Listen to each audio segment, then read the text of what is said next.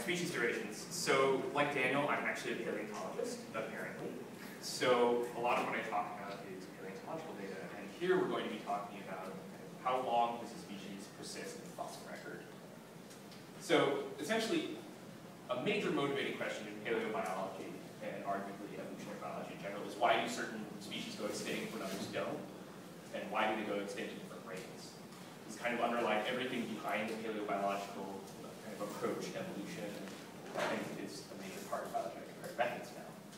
But really, that's, that's a very difficult question to work with. Why questions are not amenable to analysis. So you have to focus your questions. So I'm going to be looking at the fossil record of North American mammals in the Cenozoic for the last 65 million years. And I'm mainly looking at kind of three different ideas. How do mammal species traits affect extinction rate risk? These are things like uh, ecology, time of origination, phylogenetic position, body size, various measures that we can obtain from the fossil record.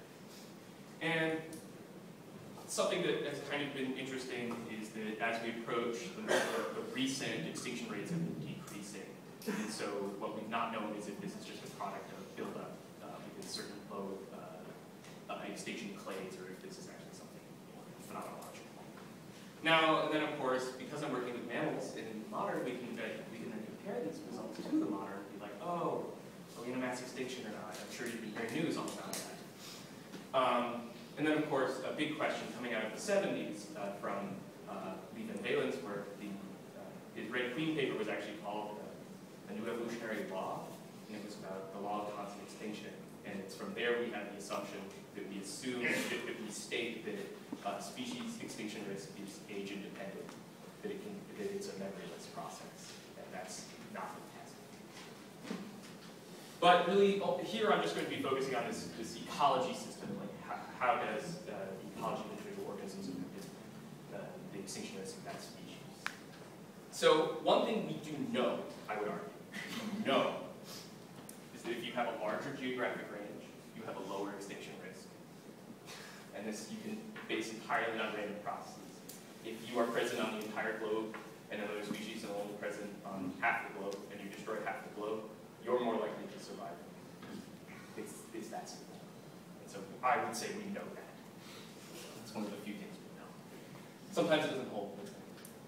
The other one, for other traits in terms of extinction, it's a little lost uh, in terms of developing major hypotheses. There's so many different traits we can look at, and really what we end up going back to of all things is Simpson in the 40s with his uh, kind of statement here. When related phyla die out, more specialized phyla tend to become extinct before less specialized. This phenomenon is, also far from universal, but it is so common that it does deserve recognition as a rule or principle in evolutionary studies. This is the rule of the survival of unspecialized.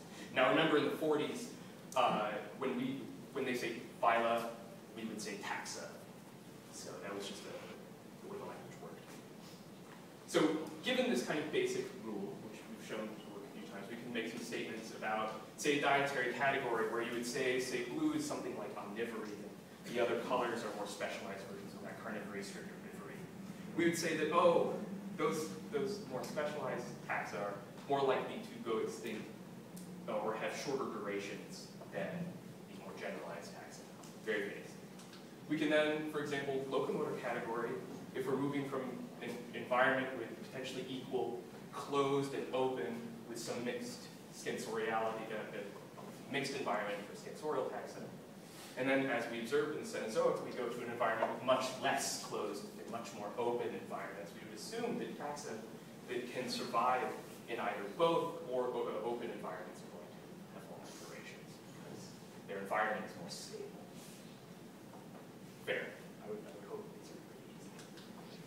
Now the key is there's a lot of information you have to deal with with paleontological analysis and evolutionary analyses in general. As we collect more and more data, we know more and more of it is structured, very, very structured.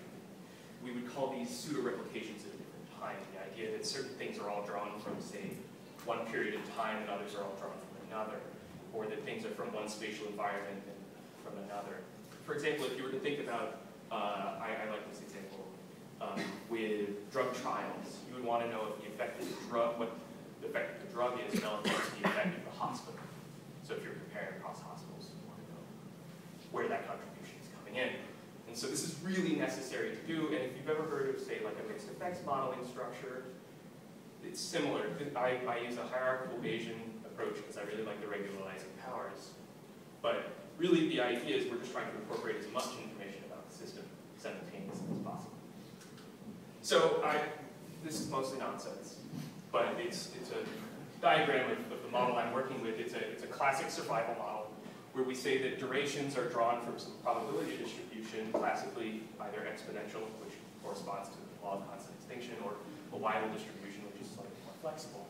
And then from there, we can add in all this information, like the ecology of the system, uh, or the um, dietary category, the locomotor category, the body size, its time of origination, which we then model as exchange, or its phylogenetic position, which we follow very basic uh, multivariate normal, which is Brownian motion. Okay.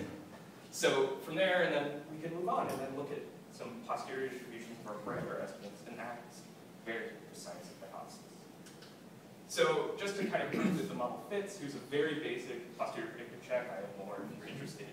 But the basic idea is the black line represents an empirical, uh, the uh, observed uh, survival uh, function.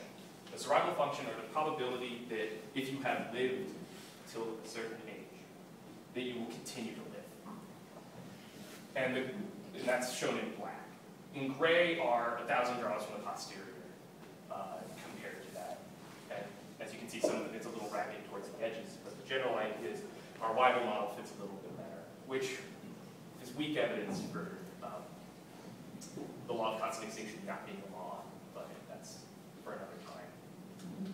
So, but we can move on to these ecological traits. Here's the, the pairwise differences in the effect of these environment of these dietary categories. We have carnivory versus herbivory, carnivory versus insectivory, and so on. Important here are omnivory, where values that are more positive indicate that the second is uh, increases uh, uh, duration. So in this case, it's omnivory is expected to have a greater duration than either insectivory or herbivory. And then you can do the same thing with herbivory, insectivory, and so on, where this is carnivory and omnivory. So in general, we see that, yeah, it's great to be an omnivore. And by rather appreciable amount, these are uh, approximately uh, at least 95% probability that, an omnivorous species will have a greater duration than an insectivorous species. So we can do similar things with uh, locomotor category where we have arboreality versus ground dwelling. It's great to be ground dwelling, it's not great to be arboreal. Similar situ situation with arboreality and scansoriality. Scansoriality is a term in uh, just describing that you can do kind of both. Mostly it's you live in on roots and stuff like that. You can think of mice. And then we have ground dwelling and scansoriality, which are have uh, no evidence that one is necessarily uh, better than the other, or no strong evidence. But it's again this, this idea that if you have a more generalized system, this ground dwelling or scansoriality, you're more likely to have a greater duration in the fossil record. Um, if you're arboreal, or you might be having uh, a greater risk of habitat loss. We can then look at what's the difference in these origination cohorts. Origination cohorts here are defined as of species that all originate in the same two million year window. This is some way of getting at uh, how temporal effects uh, work on duration. We see a weak trend of a, of a decrease in extinction risk. So negative values indicate a decreased extinction risk over time as, as we approach the recent where things are potentially living longer on average. Though if this is based entirely on those arboreal taxa, it's a little hard to pull out because I've not varied uh, the effect of arboreality over time, allowed it to be time constant. But so this is cool. The key is then, is, is there any element of phylogeny? We would argue that a lot of these traits are heritable, I would say. You know, dietary category is probably heritable. Uh, so we can look, and this is uh, called a variance partitioning coefficient. The idea is we're looking at the source of the unmodeled variation. And th though this is a non-normally distributed uh, approach, there are various ways of getting over that. And we can see that individual variation, the variation just between species, is uh, providing approximately 70% of the unmodeled variation, where in total, we're talking maybe 30 between cohort and phylogeny, which are approximately equal in terms of their contribution to uh, unmodeled um, variation. This states that it's both time and phylogeny matter, that this heritability of traits, but also that it's, it's uh, kind of happening regardless of where you are at the same, uh, uh, in the phylogeny at the same time. This makes sense. If omnivorous, omnivorous taxa live a long time, they can, even with a very slow speciation rate, just kind of build up, build up, because they just aren't going extinct. As opposed to something, say, that was a greater risk, anything else. So that's fun, because this is something that's been an issue since Raup and Sepkoski first observed uh, a decrease in extinction risk. Their theory was was entirely due to adaptation, that as we approach uh, the recent, it's entirely due to adaptation, when in fact it might be kind of a more complex scenario between the two. Now, there's some basic conclusions, again. This survival being specialized, turns out Simpson was really smart. Uh, and we can say that, at least for North American mammals, that these more generalized species are going to have the lower extinction risk. Doesn't mean anything about their speciation rate, just entirely their extinction risk. We've observed a decrease in extinction risk with time, but this is, is not solely due to the inheritance of traits. That also has to do with changes in selective pressures over time, arguably.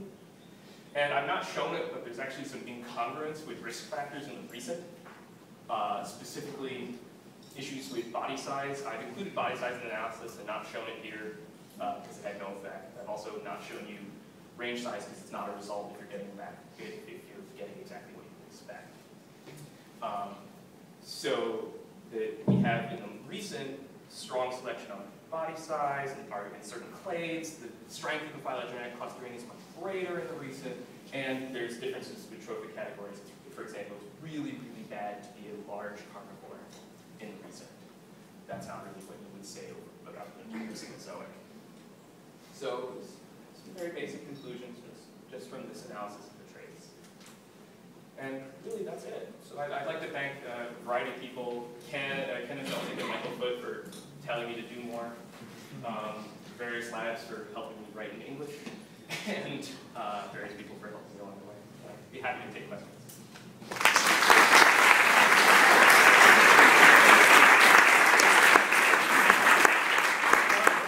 So we've, uh, we've run over time for this session, but uh, if you have any questions for any of the speakers, uh, just come up to the front. And uh, I'd like to thank everyone for coming and thank all, all our speakers again for